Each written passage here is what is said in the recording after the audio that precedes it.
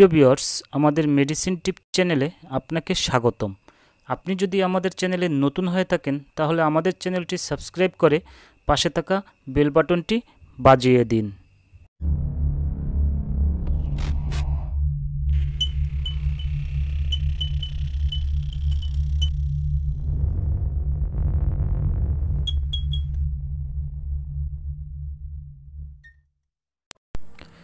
প্রিয় দর্শক আজকে আমি আলোচনা করব পালস অক্সিমিটার নিয়ে। এই অক্সিমিটার সম্পর্কে অনেকেই জানেন, আবার অনেকেই এই প্রথম নাম শুনেছেন। পালস অক্সিমিটার কি? এটা কীভাবে কাজ করে? বিস্তারিত জানতে ভিডিওতে একটি লাইক দিয়ে না টেনে শেষ পর্যন্ত দেখতে থাকুন। পালস অক্সিমিটার কি? এটি একটি বহনযোগ্য মেডিকেল ডিভাইস, যা দিয়ে মানুষের দেহে রক্তের অক্সিজেন সম্পৃক্ততা মাপা হয়। উনিশশো সালে সর্বপ্রথম এটি তৈরি করেন জার্মান চিকিৎসাবিদ কাল মাত এ যন্ত্র দিয়ে ব্যথাহীনভাবে রক্ত, অক্সিজেনের সম্পৃক্ততা পরিমাপ করা হয়। কি কাজে ব্যবহার করা হয়? এই যন্ত্র।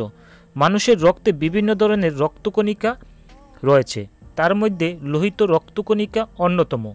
লোহিত রক্তকণিকা হিমোগ্লোবিন নামের একটি যুগ্ম প্রোটিন রয়েছে, যাতে উপস্থিত রয়েছে আয়রন এই হিমোগ্লোবিন দেহে অক্সিজেনের বাহক হিসেবে কাজ করে।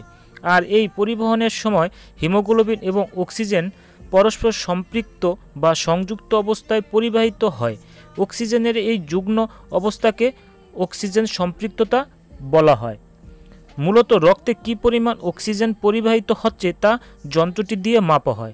দেহে অক্সিজেনের অবস্থা পরিমাপের মাধ্যমে বিভিন্ন ধরনের রোগ নির্ণয় করা হয়। যেমন সিওপিডি, অ্যাজমা, নিউমোনিয়া, ফুসফুসের ক্যান্সার হৃদযোগ ইত্যাদি। পালস অক্সিমিটার দিয়ে একই সঙ্গে হার্টবিট ও অক্সিজেন সম্পৃক্ততা নির্ণয় করা যায়। করোনায় যেই কারণে ব্যবহার করা হয়, পালস অক্সিমিটার। করোনা ভাইরাসের আক্রমণের ফলে মানবদেহে ফুসফুস খুব সহজেই ক্ষতিগ্রস্ত হয়, ফলে দেহে অক্সিজেন সরবরাহ মাত্রা কমে যায়, রোগীর অবস্থা খুব দ্রুত আশঙ্কাজনক অবস্থায় পৌঁছে যায়। তাই যদি খুব দ্রুত সময়ের মধ্যে রক্তের অক্সিজেনের সম্পৃক্ততার পরিমাপ নির্ণয় করা, অক্সিজেনের ব্যবস্থা করা হয়, তাহলে রোগী সুস্থ হয়ে ওঠার সম্ভাবনা বেড়ে যায়। এছাড়া করোনা ভাইরাস আক্রমণের ভেন্টিলেশন দেওয়া হয়। এই ভেন্টিলেশন ঠিকমতো কাজ করে কি না সেটিও পালস অক্সিমিটারের সাহায্যে পরীক্ষা করা যায়।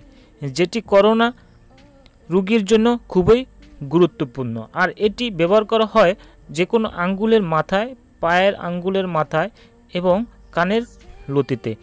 প্রিয় দর্শক, আমাদের ভিডিওটি কেমন লেগেছে অবশ্যই কমেন্ট করে জানাবেন। আর ভালো লাগলে শেয়ার করে দিবেন। ধন্যবাদ সবাইকে সাথে থাকার জন্য।